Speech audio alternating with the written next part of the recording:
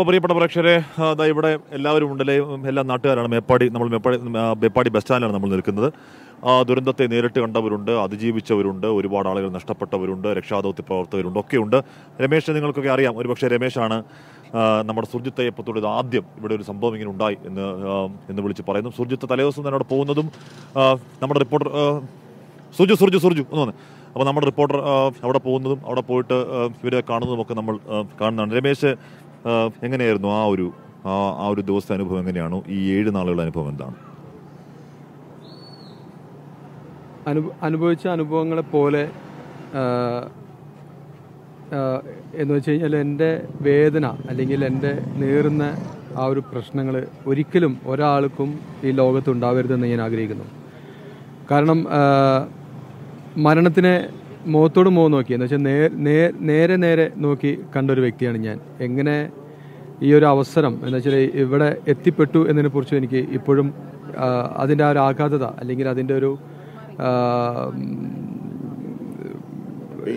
Pain വേദന അതെനിക്കൊരിക്കലും എന്റെ ജീവിതത്തിൽ ഒരിക്കലും മറക്കാൻ കഴിയുന്നില്ല. ഇപ്പോഴും എനിക്ക് സത്യം പറഞ്ഞാൽ ആരെങ്കിലും എന്നെ ഒന്ന് ഒന്ന് ചിരിപ്പിച്ചിരുന്നെങ്കിൽ എന്ന് ഞാൻ ആഗ്രഹിക്കുന്നു. കാരണം അത്രത്തോളം നീറുന്ന വേദനയോടുകൂടിയാണ് ഞാൻ അതിനെ കണ്ടതും ഇന്ന് അനുഭവിക്കുന്നതും. അറിയാവുന്ന ഒരുപാട് പേര് പോയി. കാര്യം ആഷ്മി. രമേശിനെ സംബന്ധിച്ച് രമേശ് ഇവിടുത്തെ ഒരു ടൂറിസ്റ്റ് ഗൈഡാണ് രമേശ് രമേഷിനെ രമേശിനെ സംബന്ധിച്ച് രമേശ് ഇന്നും മാറി താമസിക്കാനൊക്കെ ഇപ്പൊ സഹോദരിമാരൊക്കെ പുറത്ത് പല ഭാഗങ്ങളിലാണ് അല്ലേ? അപ്പൊ അവരെപ്പോഴും പറയും രമേശിനോട് ഇവിടെ നിന്ന് മാറാമെന്ന് പക്ഷെ രമേശ് മാറിയിട്ടില്ല അല്ലേ? രമേശ് അതിന് പറഞ്ഞൊരു കാരണമുണ്ട്. ഇതുപോലൊരു പ്രകൃതി ഇത്ര സുന്ദരമായ ഒരു പ്രകൃതി ഇനി വേറെ എവിടെയും ഉണ്ടാകില്ല അല്ലേ രമേശ്?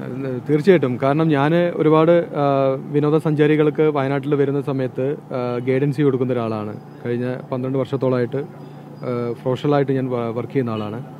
എനിവേ എന്റെ വീടും എന്റെ ആംബിയൻസും എന്ന് പറയുന്നത് ഒരിക്കലും ഇനി ആ ജി- അവിടെ ഇല്ല. അതാണ് എന്റെ ഏറ്റവും വലിയ നീറുന്ന ഒരു വിഷമം.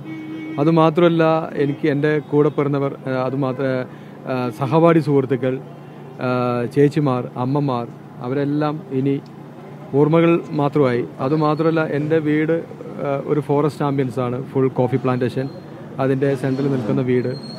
അതെല്ലാം ഇനി ഓർമ്മകൾ മാത്രമായിട്ട് ഇനി അവശേഷിക്കും. അതാണ് അതാണിപ്പോൾ എന്നെ വല്ലാതെ അലട്ടുന്നത് രമേശ് നമ്മുടെ സുർജിത്തിനോട് ആദ്യം ആദ്യം ഈ കാര്യം പറഞ്ഞത് രമേശാണ്. അത് കഴിഞ്ഞിട്ട് സുർജിത്ത് ഈ സംഭവം സംഭവം ഉണ്ടാവുന്നു. പിന്നെ സുർജിത്തിന് രമേശിനെ വിളിച്ച് ഫോൺ കിട്ടുന്നില്ല. പലയാവർത്തി വിളിച്ച് ഫോൺ കിട്ടുന്നില്ല. അത് കഴിഞ്ഞ് ഫോണിൽ കിട്ടും. അത് കഴിഞ്ഞ് ഇവരാദ്യം കാണുമ്പോൾ സുർജിത് അക്ഷരാർത്ഥി കരയാണ്. എന്ന് പറഞ്ഞാൽ അക്ഷരാർത്ഥി നിന്ന് കരയാണ്. അത് കഴിഞ്ഞ് അവൻ റിപ്പോർട്ട് റിപ്പോർട്ട് ചെയ്യുന്നുണ്ട്. റിപ്പോർട്ട് ചെയ്യുമ്പോഴൊക്കെ അത് അത് ആനന്ദക്കണ്ണീരാണോ അതായത് രമേശ് ജീവനോട് പോയിട്ടില്ല എന്നുള്ള ആനന്ദക്കണ്ണീരാണോ അതോ സുർജിത്തിന്റെ വേദനയാണോ രണ്ടുപേരും കെട്ടിപ്പിടിച്ച് കരയുക അല്ലെ രമേശിനെ പറ്റിയിട്ട് ഒരു സ്റ്റോറി സുർജിത്ത് ചെയ്യുമ്പോഴും കരയായിരുന്നു. ഇത് സാധാരണ നമ്മുടെ മാധ്യമപ്രവർത്ത പല അനുഭവങ്ങൾ ഉണ്ടാവുന്നുണ്ട്. ഇത് അങ്ങനെയല്ല അല്ലേ? അത്ര അനുഭവങ്ങളല്ല ഇത്? വല്ലാത്തൊരു വൈകാരിക തലത്തിൽ കൂടെയാണ് ഞാൻ പോയിരുന്നത്. കാരണം അന്ന് ബാണാസുര ഡാം തുറക്കുമെന്ന് പറഞ്ഞിട്ട് അങ്ങോട്ട് പോയി. നല്ല മഴ ഉണ്ടായിരുന്നു.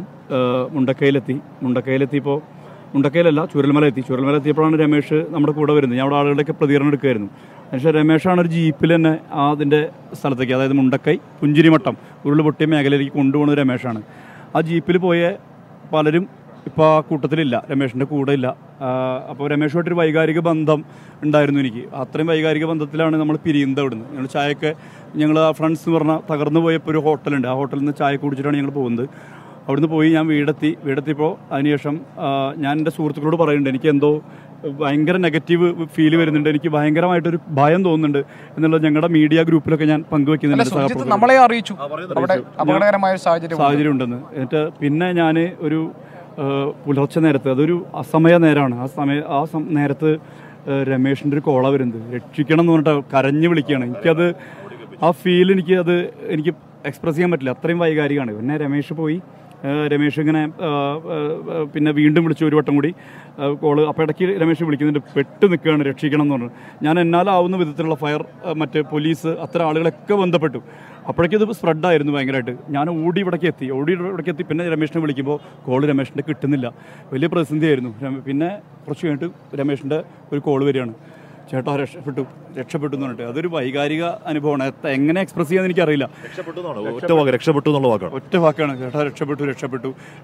ക്യാമ്പിലുണ്ട് ക്യാമ്പിലുണ്ട് ചേട്ടാ എന്ന് പറഞ്ഞിട്ട് അതൊരു വൈകാരികത തല നമുക്കത് എക്സ്പ്രസ് ചെയ്യാൻ പറ്റില്ല. പിന്നെ ദീർഘ ദിവസത്തിന് ശേഷമാണ് രമേശനെ എനിക്ക് കണ്ടുമുട്ടാൻ മുട്ടം മുട്ടാൻ വരണം അതിന്റെ ഒരു വൈകാരികതയാണ് ഞാൻ പ്രകടിപ്പിച്ചത്. അത്ര അല്ല, മനുഷ്യരല്ലേ നമ്മൾ ഒരു ഒറ്റ കാര്യം കൂടി. അതായത് രമേശിനെ പരിചയപ്പെടുത്തുമ്പോൾ രമേശിന്റെ വീടിരുന്ന ഭാഗത്തു നിന്ന് ഒന്നുമില്ല. രമേശിന്റെ വീട്ടിലുണ്ടായിരുന്നത് രമേശിന്റെ ജ്യേഷ്ഠനും അമ്മയുമാണ്. അപ്പോൾ അമ്മയും സഹോദരനുമാണ് ഉണ്ടായിരുന്നത്. തലനാരിഴയ്ക്കാണ് ഇവർ രക്ഷപ്പെട്ടത്. അല്ലെ രമേശ്? തീർച്ചയായിട്ടും. ഒരിക്കലും മറക്കാനാവാത്ത ഒരു എക്സ്പീരിയൻസ് ആണത്. എന്റെ ലൈഫിൽ ചുറ്റുമുള്ളതെല്ലാം നഷ്ടപ്പെടുമ്പോഴും എന്നെയും എന്റെ ഫാമിലിനെയും സേഫാക്കി. പിന്നെ എന്റെ വീട് വിട്ട് വേറൊരു വീടിനെ ഞാൻ അഭയം പ്രാപിക്കുകയും ആ വീടിന്റെ ടെറസിന്റെ മണ്ടയിലാണ് ഞങ്ങൾ കയറി നിന്നത്.